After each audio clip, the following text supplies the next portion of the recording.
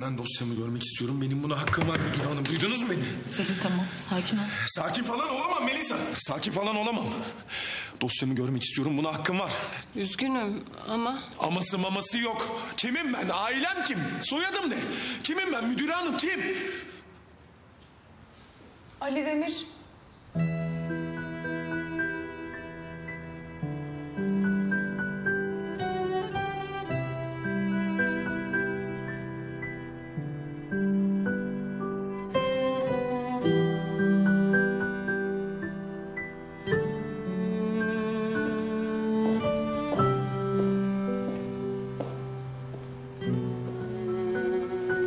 İsmin Ali Demir.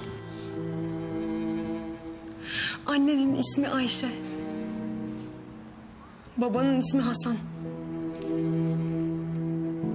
Tek çocuksun. Aileni trafik kazasında kaybettin.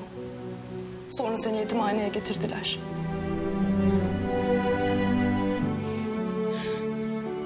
En yakın arkadaşının ismi Cennet. Cennet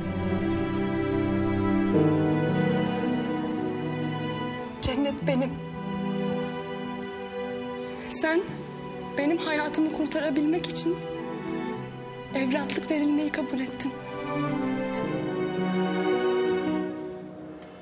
Bir daha da senden haber almadım.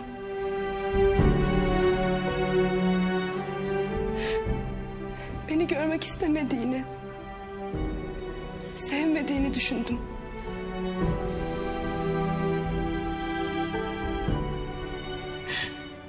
Hafızanı kaybettiğinden haberimiz yoktu.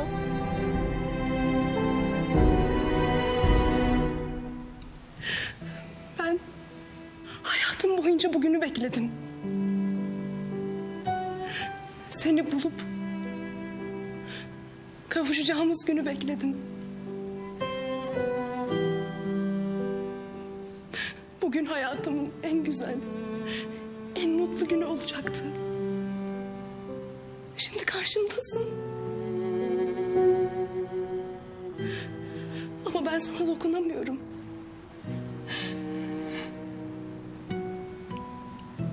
Seni buldum Ali.